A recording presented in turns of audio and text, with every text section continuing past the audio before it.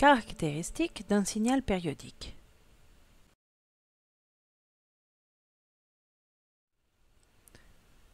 Un signal périodique se reproduit identique à lui-même au cours du temps. Un même motif élémentaire se répète à intervalles de temps réguliers. Voici quelques exemples de signaux périodiques. La période d'un signal périodique est la plus petite durée au bout de laquelle un phénomène périodique se répète. C'est la durée du motif élémentaire. On la note T majuscule et elle s'exprime en secondes. Sur cette courbe, on représente le motif et sa durée t. On peut déterminer la période t de ce motif de plusieurs façons différentes en fonction du motif que l'on repère. La fréquence d'un signal périodique correspond au nombre de motifs qui se produisent en une seconde. On la note f et elle s'exprime en Hertz, de symbole Hz.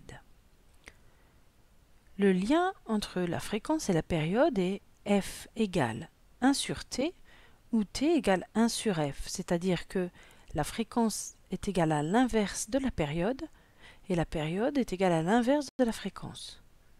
Dans cette expression, la période s'exprime en secondes et la fréquence en hertz.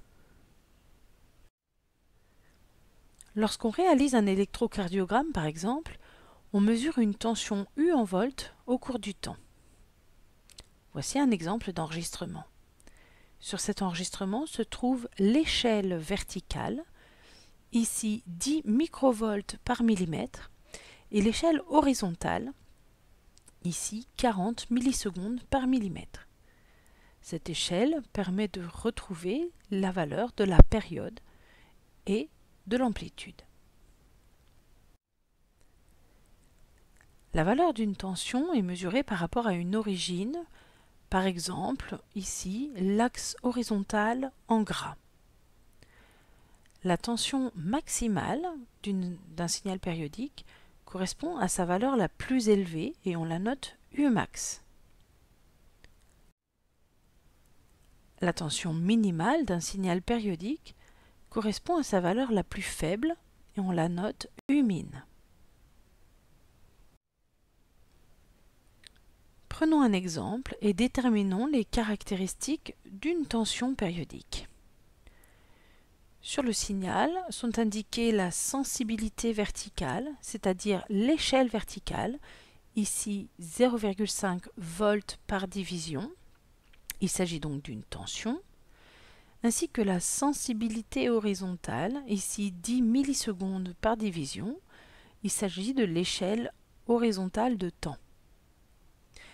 Pour déterminer Umax par rapport à l'axe horizontal en gras, on repère que Umax se trouve à deux divisions au-dessus de cette origine, et comme chaque division vaut 0,5 volts, Umax est égal à 2,0 fois 0,5 c'est-à-dire 1,0 V. Pour Umin, Umin est égal à moins 2,0 fois 0,5, c'est-à-dire moins 1,0 V, puisque la tension descend jusqu'à 2 carreaux sous l'origine. La période est représentée par 3,5 divisions. Comme la sensibilité horizontale est de 10 millisecondes pour une division, cela donne une période t de 35 millisecondes. On peut alors déterminer la valeur de la fréquence.